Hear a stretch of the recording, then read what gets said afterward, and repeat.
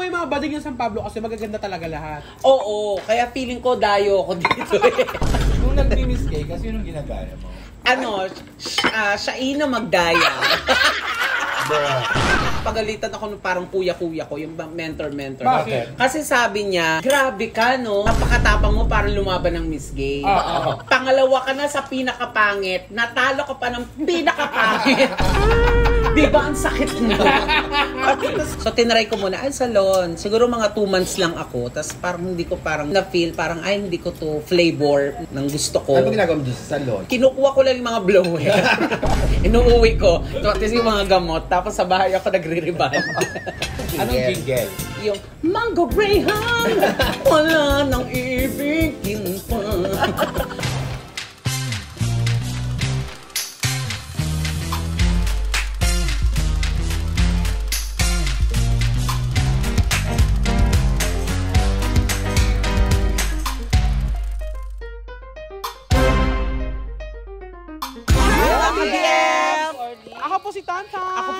Po si Tammy Brown. Kitty. And we are your best friends. Welcome back ulit sa aming vlog. And uh, andito pa rin tayo sa San Pablo City, Laguna. Laguna. Yes, sa San Pablo. San Pablo. San Pablo kasi nga may punto. Oo. Aray. Aray ko. Lamok, Yung lamok. ina ko. Hindi, may lamok. Totoo ba? Napatay ko ba? Hindi. Hindi, may lamok. Gulat ko sa'yo. Ang laki. I-zoom in, may lamok ah. Siyempre, hindi mawawala kapag nasa isa kang lugar ang may pupuntahan kang masarap na kainan.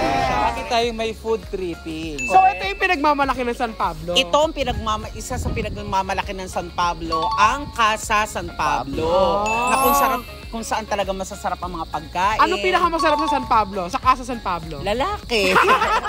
Yes! Di ba yun ang gusto nyo?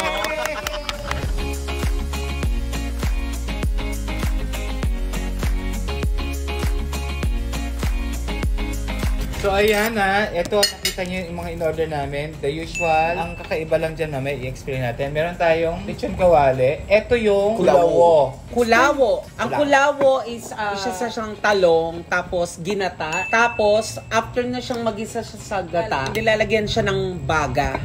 Nang... Yung baga ng uling. Ah, akala ko ba? Oo, hindi baga ng ano, hindi Ng langsa. Eh, parang pinapainitan siya. Nilalagyan siya ng ah, baga. Apoy, inaapoyan Oo, apoy, inaapoyan siya. Ito naman din yung tinola. Ito makikita nyo. Kakaiba siya because ang pangpaasim niya o pampalasa is pinya. Pinya. Ay, okay. Kaya first time nating makakakain ng chicken tinola with Pinya. Alam mo bakit highly recommended mo itong lugar na to? Eh kasi, hindi kami nakakakain. I mean, ang family ko ha, Oo. na ng gatong... ah, Pero pa ilang beses mo rito? Kulawo. Ano na, dahil ilang years ko na bang kilala ang Casa San Pablo? Ilang- Parang mga five years na. Wala pa, wala pa. Ngayon pa lang ako kakain. Hindi kasi na-curious lang ako kasi nakikita ko yung sa page nila na Casa San Pablo para tas tinignan ko yung mga menu nila. Parang, ay masarap, parang gusto ko matry at gusto ko madala ang best friends dito sa Casa San Pablo. Yes, at kaya- ipatikim ang mga masasarap na pagkain. Of course, meron din tayong laing. Laing. Because sabi nga ni Tami kanina, San Pablo ay ano sa... Sa gata, Sa kasi gata. nga coconut festival sa amin. Maraming niyog. Maraming nyog dito, di ba? Oo. Laing beside you, mali. Tapos, meron din tayong inihaw na plapla. Iniho na plapla. At mamaya for dessert, titikman natin yung first time ulit natin kakainin, champurado with Gata. Gata. Gata na may buko. At saka, Totoo ba? may lasa yung ano, yung inihaw. Lasang uling. Lang. Pero the usual siya parang kung, kung makakakita tayo ng ganito, parang ensalada. Oo. Oo. Ang sarap niya. May suka to, Oo. no, mami? Kulawo. Kulawo. Kulawo. King Kulawo. Ganun. Diba po yun? Magkwento ka naman, Tami, about Ay. your childhood. Mm, Bakit? Nung kabataan ko dito sa San Pablo, bago ako mapunta sa sing-along industry, nag-ano talaga ako eh. Nagtatahi, at saka Ikaw ba? sumasali sa Miss Gay. Ah. Oo, eh, di ba pangarap ng mga bakla yun? Pero alam mo yung mga bading ng San Pablo kasi magaganda talaga lahat. Oo, kaya feeling ko dayo ako dito eh. Nung nag-miss cake, kasi yun yung ginagaya mo. ano, sh- ah, siya ina magdaya. Saka ano, heart evangelista. wow. Oh, kamusta? Heart evangelista nangyari. Hindi, ano, napagalitan pa. Nung sumali ako sa Miss Gay, pinakamalaking Miss Gay yun dito sa San Pablo. Napagalitan ako nung parang kuya-kuya ko, yung mentor-mentor. Bakit? Kasi sabi niya, grabe ka, no? Napakatapang mo parang lumaban ng Miss Gay. Oo. Pangalawa ka na sa pinakapangit, natalo ka pa ng pinakapangit. Di ba ang sakit? At tapos pag-ikot ko sa Longgo, nakita ko siya. Tas, kasi designer siya. Itinakas ko yung gown. Si Kuya Chris Gamo. oo. Oo, oo. Ah, Hindi niya alam na ginamit mo yung gown Hindi niya. ko, oo, tumakas pati ako sa kanya kasi pinagbabawalan niya ako. Ang naano niya sa akin, mag-aral ka, mag-aral kang kumanta, gusto kong mapunta ka sa talagang comedy bar. Ayun, ang gusto, ayun talaga ang naiisip niya sa akin dati. Tapos ako, masali sa mga Miss Gay. eh, hindi naman ako maganda. Uy, maganda ka, Tami. Diyos Ilang beses kang sumali. Madami. So, nung unang beses na natalo ka, hindi ka kagad tama na to, hindi Oo, para sa akin. hindi talaga. Wala, wala talaga. Ano, hindi malakas yung, talaga loob mo. malakas ano? lang talaga yung loob na rarampa. Di ba pangarap natin, kahit talo ka naman, alam mo naman talo ka, pero gusto mo lang rumampa. Kasi sa Miss Gay, may libreng panset. Tapos, ano, kapag natuwa pa yung mga mayor yon yung, or kaya kung sino may pa Miss Gay, mga chairman, nagbibigay sila ng pawalang 100. Tuwa na kami, yung masaya na kami noon. na may, ay, may 200 ako. Pero hanggang ngayon, gusto mo pang sumali. Kasi meron ng pangkalawakan eh. Actually, ini-invite nila ako. Hindi, masaya talaga. Masaya sumali ng Miss Gay. Eh, sa school. Kamusta ka sa school? Nung elementary ako, ang tawag sa akin si Dodi. Do- Dodi? Daga? Doding Daga. Kasi nga malaking ngipin ko. Di ba nauso yung ano, si B1 at B2? Oo. Di ba may Doding Daga doon? Ay, natawag sa, loko sa akin yun eh. Di ba may Tsaka yun ang ginamit mo sa comedy bar. Doding Doding daga. Tapos nung nag-high school ako, ang tawag naman sa akin, si Jego.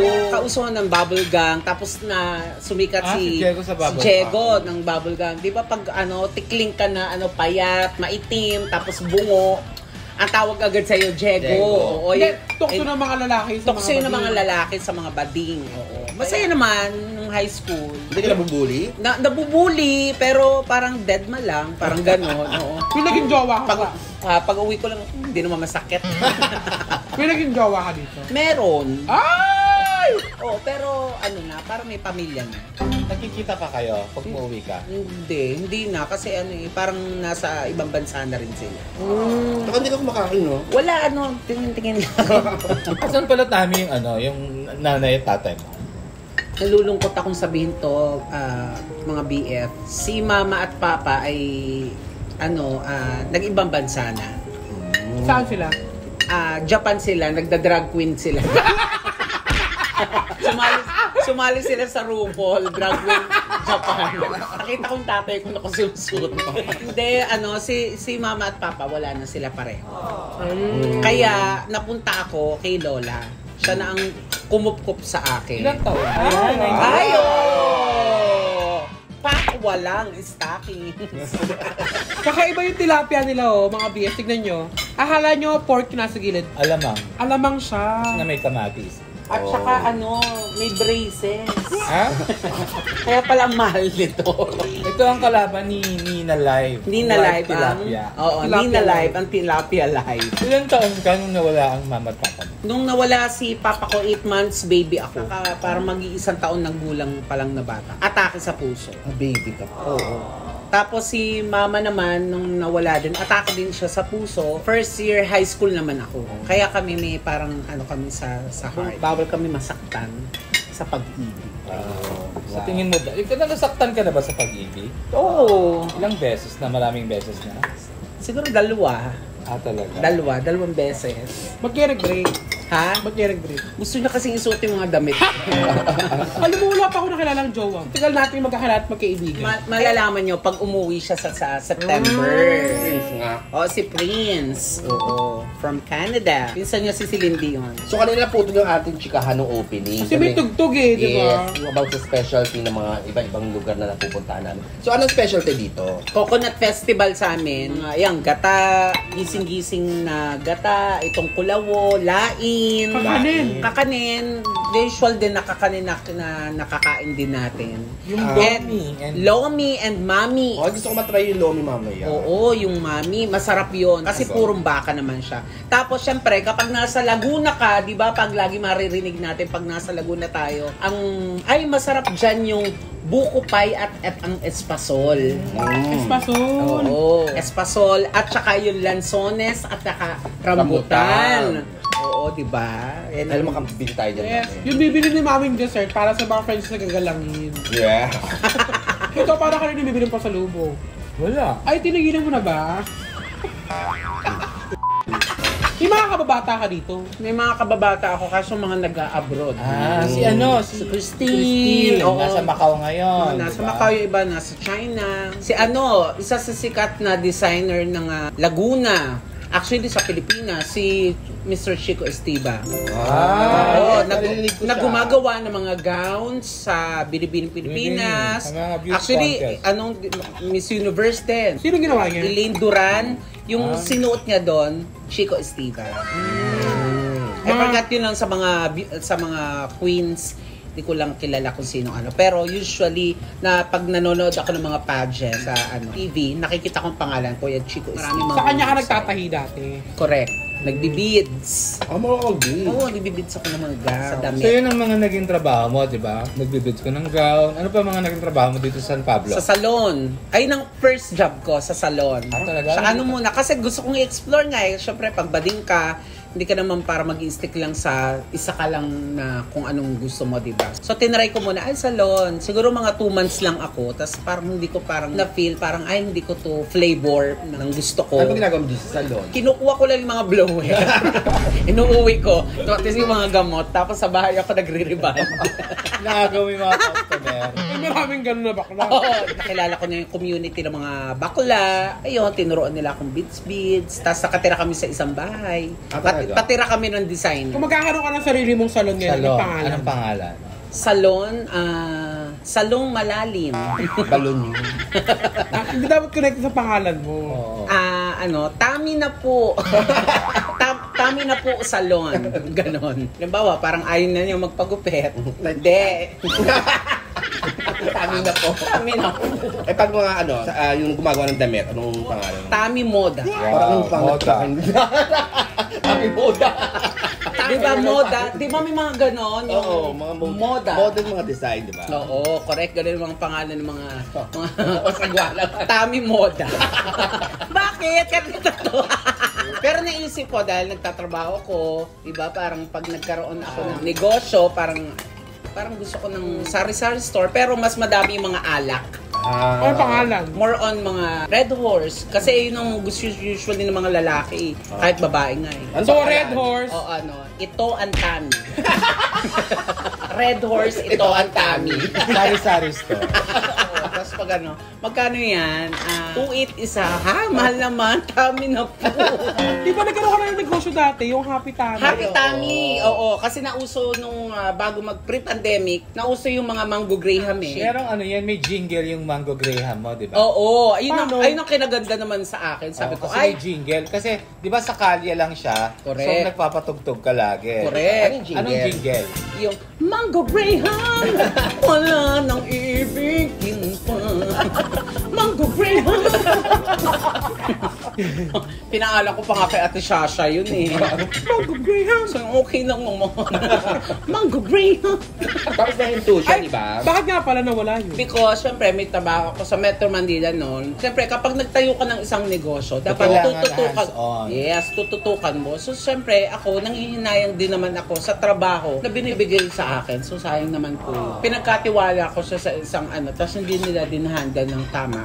So, parang nag-decide ako na, Stop na. lang. Pero ang dahilan talaga, Hindi talaga masarap. Kasi sabi ko, parang panis yung gatas. may nagka-franchise siya dati. Yes. Oo. Actually, kumita siya doon. Kumita ako doon, actually. Paano ulit yung jingle? Mango Graham, wala nang ibigin pa. so, ayan, medyo nakita nyo naman na wala na po yung tilapia, binaligtad na. so, ayan, nag-enjoy kami. Especially ako, na-enjoy ko talaga dito yung tinola. Ako Saka ka- yung kulawo. Kasi Yeah. yung kalawo, may lasa siyang ano talaga, yung inihaw. Ako, ito talaga, tong tinola. Kasi kahit taga rito, kung ngayon ko lang na-discover na ang tinola pala pwedeng lagyan ng pineapple. Kanya-kanyang version Pinya, ko. oo. So ayan mga BF, sana yung nagustuhan yung aming ah, Food vlog dito sa San Pablo, Laguna. So kung sakasakali, meron pa tayo ibang mga pupuntahan. Samahan nyo kami sa aming mga food trip. Ayan, titikman na natin yung Champurado na may gata at gata at buko. So yan mga BFs, try nyo rin nung mga na-try namin food para maiba-iba naman ang mga inyong uh, try na food.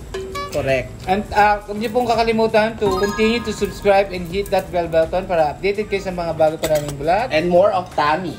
Yes. Yes, ayan. Follow nyo rin po yung aming TikTok account at aming Facebook, Facebook page. Yes. At lahat ng channels ng Beck Squad. Yes! Bye-bye! Thank Kain you.